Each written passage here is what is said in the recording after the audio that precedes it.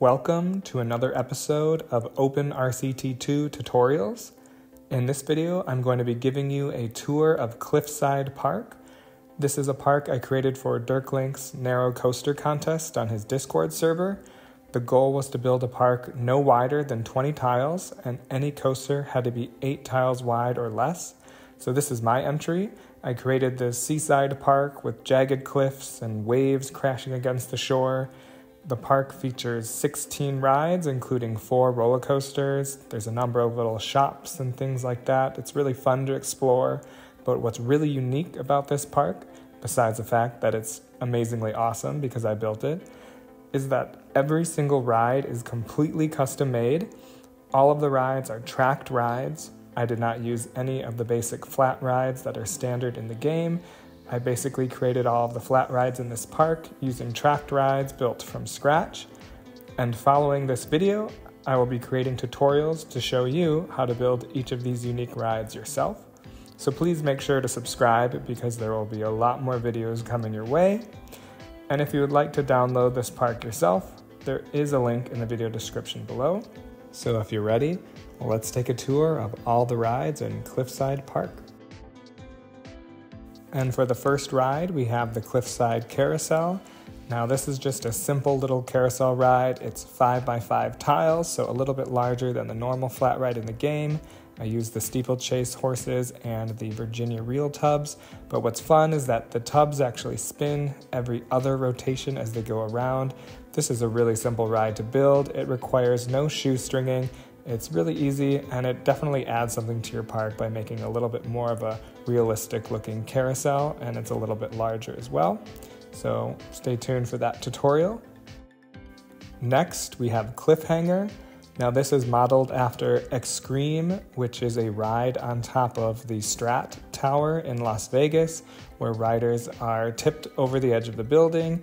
Here, they're careening off the edge of the cliffside. Now, this is a really fun ride to add to your park if you have the landscape like a cliff or a really high building, but it is a little bit trickier to build compared to the carousel we just saw. I actually got the idea from one of Dirklink's videos. It does involve a little bit of shoestringing, but if you have the space in your park and the right environment, it's a really fun ride to add. It's also really fun in real life. If you ever get a chance to go to Las Vegas, it's definitely worth giving it a go. And here we have a pair of drop towers. I'm not going to create a tutorial for these rides. You all know how to build them. The only thing I did differently was change the ride vehicles to the Rotodrop cars, and that was just to increase the capacity so the lines aren't so long. Next, we have Skydiver. Now, this flat ride is modeled after those hang glider rides you might have seen at traveling fairs. They're actually the cliffhanger model that is from Batek or Batech Enterprises. I'm not really sure how to say the name, I had to Google it. But it's a really fun family ride that you can add to your park. I use the flying coaster cars here to kind of give you that hang gliding experience. And what's great about this design is that there is no shoestringing involved, so you can actually save the track and plop it down in any park. And it's a really great addition to kind of add another flat ride, a family flat ride to your park.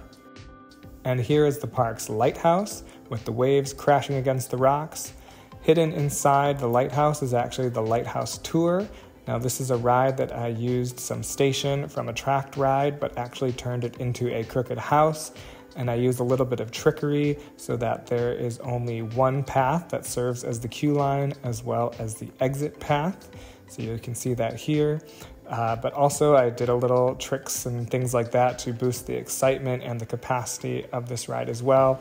It's a really easy way to kind of fit some sort of small walking tour type ride into your buildings. So, I will show you how to do that in the tutorial. And here is the park's first roller coaster, Scamper.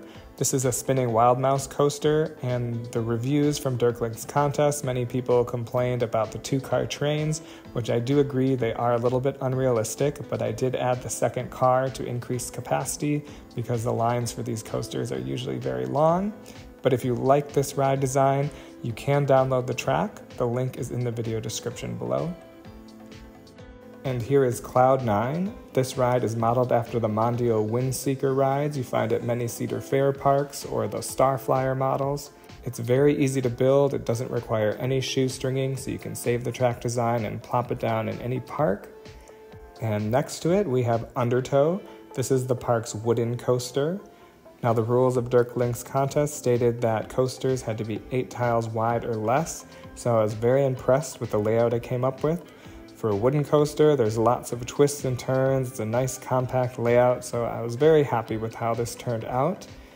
I've actually saved the track design and added it to many of my other parks because the footprint is just so small, it fits in nice narrow plots of land. So if you'd like to download this track yourself, check out the link in the video description below. And now we return to the front of the park where we have a Leapfrog. Now this kitty ride might look familiar because I have already posted a tutorial of how you can build this ride. It is modeled after the Frog Hopper kitty rides you might have seen at your local fair. This is a really easy ride to create. There's no shoestringing involved, so you can just save the track and put it in any park.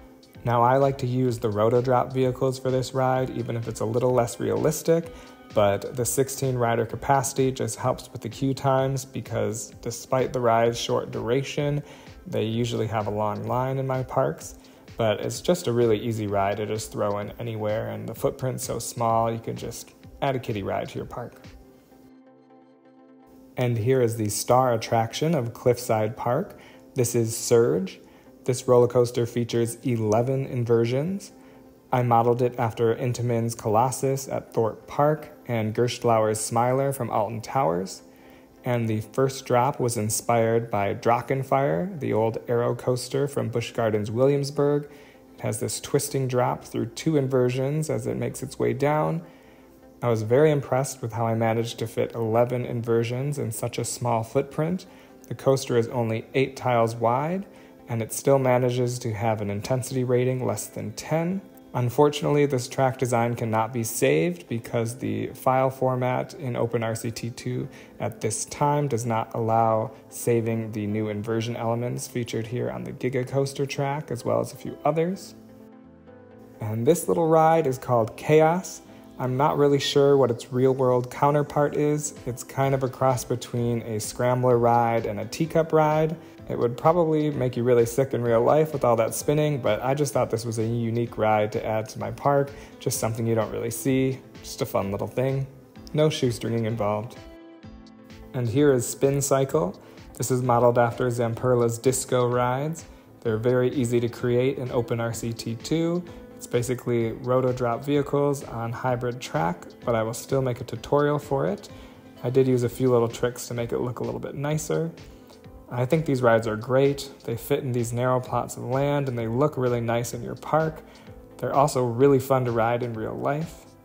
And next to it, you can see Skyscraper, which is a parachute drop tower. Now, this is another star attraction of the park. It's quite the eye catcher. This is the tallest ride in the park, and it was also the most tedious to build. It took a lot of shoestringing and patience to get everything working just right, but I think it was worth it in the end. It gives the park a nice Coney Island sort of vibe. These paradrop towers are actually really fun to ride in real life if you can find them. Unfortunately, there's not a lot of them left in existence, and fair warning, the tutorial for this ride will be the most challenging of all the rides in this video. Like I said, there's a lot of shoestringing involved, but I will walk you through it. So if you're up for the challenge, this will make a worthy addition to your park. And here is Ring of Fire. Now this is modeled after the Fireball rides by Larson, those giant loops you might have seen at your traveling fairs. Now it does look kind of wonky having that flat piece of track at the bottom, and many people in the contest gave me reviews that it looked kind of silly, but the reason I did that is because it's actually hiding the station track. This is not a shoestring ride, it's just a powered launch ride, so you can save the track design and add it to any of your parks. Uh, so it's just really easy, and I'll show you some little tricks on how to do that in the tutorial. Uh, but there are better ways to make these rides if you don't want to have that flat piece of track, but I just did this for ease of use. Here we have Ocean Flyers. Now, I'm not really sure what the real world counterpart for this ride would be. I kind of invented this ride on my own. It has the swinging seaplane cars from one of the expansion packs, and the vehicles are going up and down while going around in a circle, swinging back and forth. Now, this is a little bit more technical compared to some of the other rides. There is a little bit of shoestringing involved, but I think it's really unique and really fun, and it just kind of adds something that the normal lineup of flat rides doesn't really have. So, it's a great ride to add to your park if you're willing to put in the work to build it in the first place. And last, we have the park's fourth roller coaster. This is the kiddie ride called Rock Hopper. Now, it's a single rail coaster with the Ladybird trains on it. I have saved the track design, so if you want to add this to your park, you can. The link is in the video description below. However, you do need to disable all clearance checks to build it. And that's all for Cliffside Park. If you'd like to download the park yourself, click the link in the video description below. And make sure to subscribe because I'll be creating tutorials for all of the rides you've seen in the video today so that you can build them yourself. In fact, the first tutorial is already up for the Frog Hopper or Leapfrog ride if you haven't seen it already. And let me know in the comments what tutorials you're looking forward to seeing most. So stay tuned for more. Thanks for watching.